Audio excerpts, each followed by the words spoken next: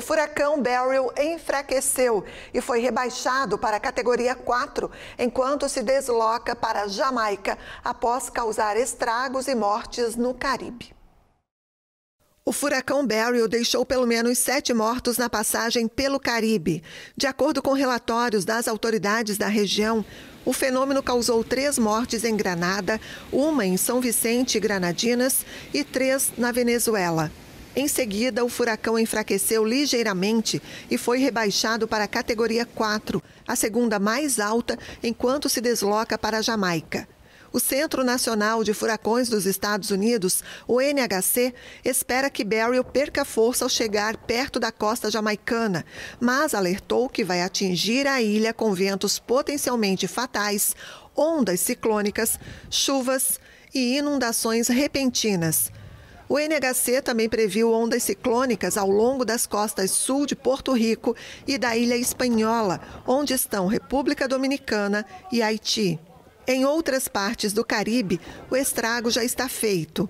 Depois de perder um pouco de intensidade no fim de semana, Beryl se fortaleceu novamente na segunda-feira, alcançando a máxima categoria da escala Saffir-Simpson ao atingir a ilha de Carrico, em Granada, que tem 9 mil habitantes. A localidade está em estado de emergência e teve as telecomunicações e eletricidade cortadas, com casas e postos de combustível destruídos. Na Venezuela, o presidente Nicolás Maduro fez um balanço dos danos causados pelo furacão na costa nordeste do país.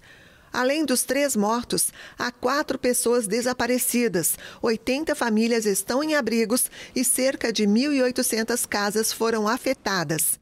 O NHC pediu que as Ilhas Caimã e várias áreas da península de Yucatán e do Golfo do México tomem medidas extremas diante da aproximação do furacão Beryl. Este é o primeiro furacão da temporada 2024 no Atlântico, que vai do início de junho até o final de novembro.